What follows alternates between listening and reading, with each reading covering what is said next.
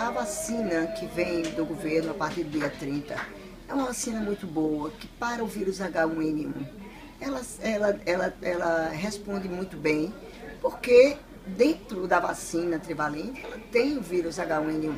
Então, não vejo necessidade para as pessoas estarem em pânico.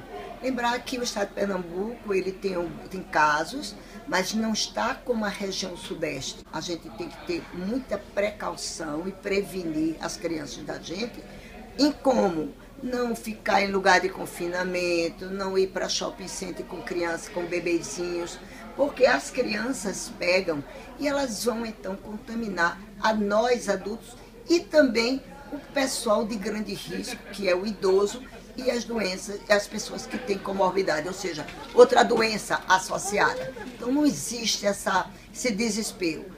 Qual é a diferença da vacina do governo para a vacina da vacina da, da, das clínicas privadas? É que uma tem uns quatro vírus, inclusive o H1N1, e a do governo tem o HN1 e só três vírus. Só isso, mas ambas são maravilhosas, são muito boas. Então, a melhor forma de prevenir é evitar aglomeração. Aglomeração e, e o hábito de lavar as mãos. Minha gente, lava as mãos.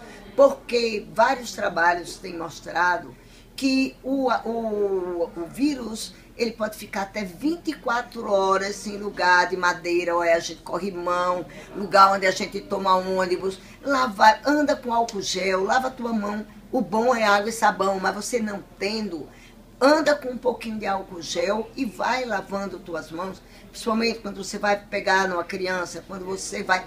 E quando os meninos estiverem doentes, por favor, não leve para a creche com aquela história que não sei onde peguei, vou levar para o hospital, ou vou levar para a escolinha porque todo mundo está doente. Não, não é assim.